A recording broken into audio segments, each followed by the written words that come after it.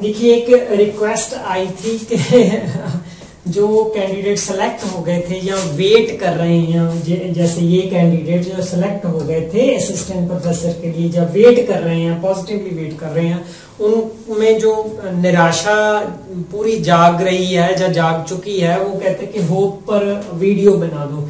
तो होप में जो हो चुका है हिस्ट्री में, जो इमीडिएट हिस्ट्री है, उसमें से जो फैक्टर मुझे मिले हैं मैं कोई जादू की छड़ी लेके नहीं बैठा कि जो अंदर की बात बता दूँगा। मैं जो फैक्टर है सोशल फैक्टर है लीगल फैक्टर है, उनको आपके सामने रखूँगा और होप उनमें से दिखाई देगी। आप कितनी देखते हो? ये आपका ऑलरेडी एनर्जी लेवल किसमें आप जी रहे हो? ये उस पर डिपेंड करेगा। ठीक? तो एक तरफ़ गवर्नमेंट है या डीपीआई है जिन्होंने पोस्ट निकाली है, दूसरी तरफ़ जस्टिस देने वाले हैं मिडल में। ठीक हो जिनकी हम वेट कर रहे हैं सिक्स जैन को, जिन्होंने कुछ कुछ डिसीज़न देना है। तीसरी तरफ़ वो फोर्सेस हैं जिनको रिजेक्ट कर दिया गया, जिनको इनजस्टिस मिला। जिनको जिन्होंने रिट पटिशन लगाई हुई है, वो कैटेगरी बहुत ज़्यादा है, बहुत ज़्यादा है, ये पिछले वीडियो में बात हो चुकी है। और नेचुरली रिट पटिशन किस पर लगेगी? जो लीगल रूल्स हैं, जो फंडामेंटल राइट्स हैं, अगर वो वायलेट हुए हैं जस्टिस इन जस्टिस इसी में घूमता है ना कंसेप्ट जो है? अच्छा तो हम होप कहाँ से ढूंढ सकते हैं? सिक्स जैन की वेट करनी है। उसमें क्या हो सकता है? मैंने यहाँ स्पष्ट लिखा है कि 50 50 परसेंट चांसेस हैं मतलब के इधर भी सब कुछ हो सकता है, इधर भी जा सकता है। इधर जाने का मतलब है कि रिजेक्ट होके पीपीएससी के पास जहाँ सारा प्रोसीजर रिवाइज होगा, कुछ ऐसे होने की संभावना है। ये शब्द सुन के घबरा नहीं जाना है, ये एक संभावना रखी है, लेकिन पॉजिटिव साइड में जो फैक्टर इतने ज़्यादा हैं, जिनसे हम होप निकाल सकते हैं। बेसिक क्वेश्चन ये किया जा रहा था कि ये बहुत ज़्यादा डिले तो नहीं हो जाएगा मैं ये फैक्टर निकाल के लाया हूँ, जिसके कारण प्रोसीजर पॉसिबल है कि ये 50 वाला जो पलड़ा है, वो भारी हो सकता है और डिले की चांसेस कम है। क्यों कम है? क्योंकि नंबर एक फैक्टर नंबर वन कि जो भी ये असिस्टेंट प्रोफेसर और लाइब्रेरियन की पोस्ट निकाली गई है a, with a good planning से निकाली गई है कि जो जनरली क्या होता है जब गवर्नमेंट पोस्ट निकालती है दूसरे दिन ही स्टे हो जाता है। तो आपको लगा कि दूसरे दिन ही स्टे हो गया। कई बार तो गवर्नमेंट के कहते हैं ये सुना है मैंने कि गवर्नमेंट कि प्लानिंग में ये शामिल होता है, इधर पोस्ट निकालो और उधर एक अपना शख्स खड़ा करो और जो रिट पटिशन रख दे स्टे हो जाए और स्टे में लटके रहे गवर्नमेंट अपनी चलती रहे। तो ऐसा कुछ हुआ कि जो दूसरे, तीसरे, चौथे दिन रिट पटिशन हो गई, आपको पता है 300 से 400 के करीब रिट पटिशन हुई है। अगर इतनी ज़्यादा रिट पटिशन हुई है इट मींस ये गुड प्लानिंग का हिस्सा है ना, कि इतने रिट पटिशन को जो है प्रोसीजर संभाल के रख पाया।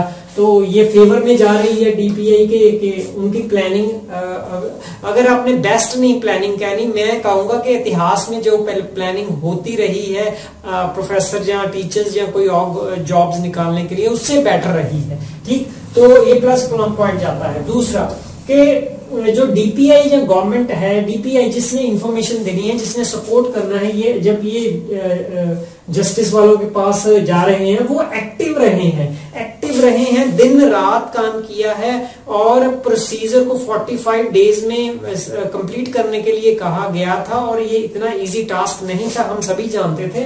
तो इसके बावजूद वो सारी इंफॉर्मेशन जो प्रोवाइड करते रहे। नेक्स्ट पॉइंट यही है कि अगर एक्टिव थे, तभी इंफॉर्मेशन प्रोवाइड करते रहे। किसको? जस्टिस देने वालों को। जब से रिट पिटिशन लगी है तो गवर्नमेंट के रिप्रेजेंटेटिव जो लायर हैं एडवोकेट हैं, उनको नेचुरली उनका जवाब देना होता है। जवाब देने में कोई देरी नहीं हुई। अगर जवाब देने के लिए रात जागना पड़ रहा था तो रात भर जागा गया। तो ये इंफॉर्मेशन प्रोवाइड करना, ये प्लान एक्टिव और इंफॉर्मेशन आपस में कॉन्सिस्टेंट नहीं दिखाई दे रहे। जब भी आपने रिसर्च किया है डॉक्टरेट लेवल पर रिव्यू ऑफ़ रिलेटेड लिटरेचर करते हो तो जब कॉन्सिस्टेंट नॉलेज मिलती है तो इट मीन उसको जनरलाइजेशन उसको कंक्लूजन को थोड़ा पक्का किया जा सकता है। वो उसको वैलिड नॉलेज कह सकते हैं। तो अच्छा ये केस जो लगा है अर्जेंट में लगा है ये इस बात का जवाब है कि डिले होगा कि नहीं? अगर अर्जेंट में लगा है तो वो जनरली कोर्ट उसको डिले नहीं करती लंबी लंबी डेट्स दूरी की नहीं देती। ये जो डेट मिली है वो इसलिए मिली है कि वोकेशन जो बीच में आ गई थी ठीक? ये चौथा फैक्टर हो गया पांचवा फैक्टर के आ, आपको लगा है कि जो इंटरव्यू का प्रोसीजर रखा गया है ऑब्जेक्टिव सारी प्रोसीजर को ऑब्जेक्टिव रखा गया है, किसी और चीज़ को मार्क्स नहीं दिए गए गेस्ट फैकल्टी को दिए गए थे, वो अकॉर्डिंग टू जैसे जस्टिस वालों ने कहा, वो विदड्रा कर लिए गए।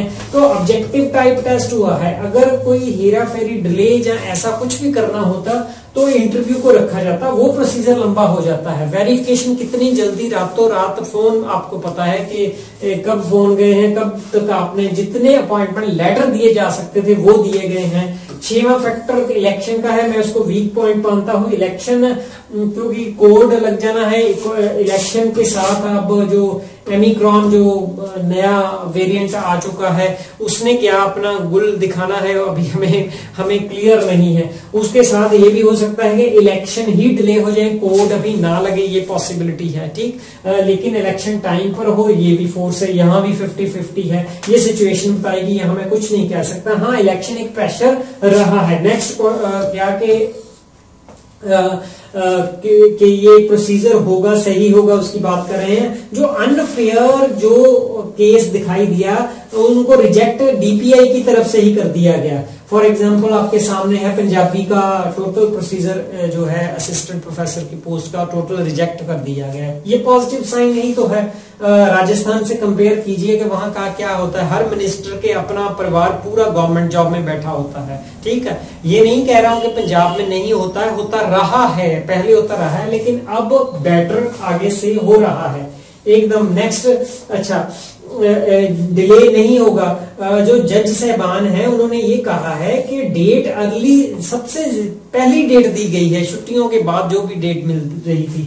जो ये डेट जो अगली है, आपको पता है सिक्स जन है, ये भी डिले नहीं है। लेकिन हम हम में थोड़ा सा वो उतावलापन ज़्यादा है, एनर्जी हम अच्छी नहीं कमाते। मैं ये बार बार कह रहा हूँ, अपनी एनर्जी को ऊपर ले जाइए, थोड़ा रोज ले जाइए तो आपको यही ज़िंदगी बेटर लगनी लगेगी। जैसे मैंने कहा था कि एक शख्स इतना है प्रॉब्लम इतनी है, अगर इतने से इतने हो जाते हो तो वही प्रॉब्लम आपको छोटी लगी लगेगी।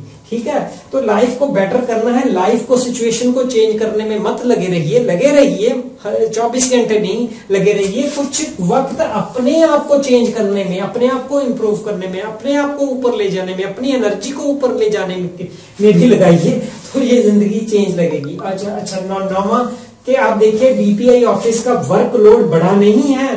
डीपीआई ऑफ़िस का स्टाफ जो उन्होंने एक कहा था कि हमें ज़्यादा काम करना पड़ रहा है, वहाँ बुलाया जाता है। क्यों बुलाया जाता है? इसका मतलब है आपके लिए जो प्रोसीजर चल रहा है, उसका काम चल रहा है, उसका वर्क लोड जो बढ़ रहा है उसकी खबरें साफ़, उस पर वीडियो भी आपने देख लिए हैं। वर्कलोड इसीलिए बढ़ा ना कि काम आपका चल रहा है। काम चल रहा है तो डिले के चांसेस कम है। अच्छा टेंथ कि हर हालत में ज्वाइनिंग तो करवाई गई ना। एक, एक कई तो शायद टीचर्स होंगे उन्होंने अपने कॉलेज की शक्ल देख ली होगी। हाँ जो ये फोर्सेस हैं कि इन्होंने स्टे लगा दिया लेकिन ये पॉजिटिविटी अगर आप देख सकते हो तो आपको देख लेनी चाहिए। हाँ नेक्स्ट अगर ये 50 परसेंट हंड्रेड परसेंट में कन्वर्ट हो जाता है फॉर एग्जांपल के इसके फेवर में हो जाता है कि ये प्रोसीजर नेक्स्ट ज्वाइनिंग का जो सिलेक्शन हो चुकी है अपॉइंटमेंट लेटर मिल चुके हैं, उनको ज्वाइनिंग के लिए कोर्ट कह देती है तो लिस्ट में चेंज आएगा, ये आपको पता है। वो लिस्ट में चेंज क्या आएगा? रिजर्वेशन का हॉरिजेंटल वर्टिकल और जेंडर का जो जनरल कैटेगरी में है, उसके नेक्स्ट वीडियो में अपलोड कर देता हूँ। यहाँ तक मुझे पॉजिटिविटी दिखाई दे रही है। हाँ अगर यहाँ कोई लीगल रूल ऐसा, या फंडामेंटल राइट राइट आता है इस प्रोसीजर में, ठीक? तो मतलब फिर इस इस प्लानिंग को फिर वीक थोड़ा कह सकते हैं। इट मीन जिसने प्लानिंग की लीगल जो एडवाइजर होंगे, वो उस फंडामेंटल राइट को या लीगल रूल को देख नहीं सके, जो जजेस अब देख सकेंगे। अगर ऐसा कोई राइट या रूल निकल आता है तो नेचुरली ये हंड्रेड परसेंट इधर, उधर जा सकता है। अगर चला भी जाता है, फिर घबराने की बात है। पोस्ट तो निकलेंगी ना। कुछ कुछ जंग जो लगा 20 साल से था, वो तो कम से कम मिट गया है। तो नेक्स्ट वीडियो में ये बता दूँगा कि अगर पॉसिबिलिटी है पॉसिबिलिटी इस इस तरफ़ जाने की तो लिस्ट में कैसे, कौन से चेंजेस आएँगे तो कोई कमेंट हो, कोई क्वेश्चन हो, आप पूछ सकते हो।